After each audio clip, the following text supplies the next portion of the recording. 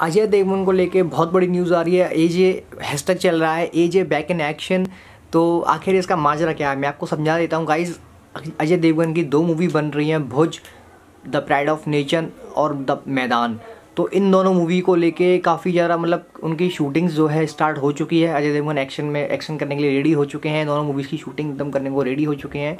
2021 में ये दोनों मूवी एक साथ आएँगी। तो बहुत बड़ी न्यूज़ है अजय देवगन के फैंस के लिए गाइस अजय देवगन के फैंस हो जाओ उसे जल्दी से रेडी क्योंकि 2021 होने वाला है, आपके स्टार के नाम। देखते हैं कि कौन सा एक्टर कितनी कमाई करता है।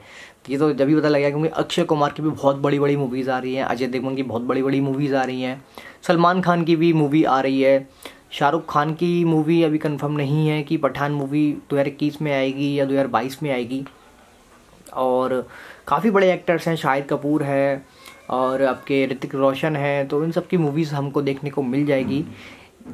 तो गाइस हो जाओ रेडी जल्दी से। अजय देवगन की मूवी के लिए।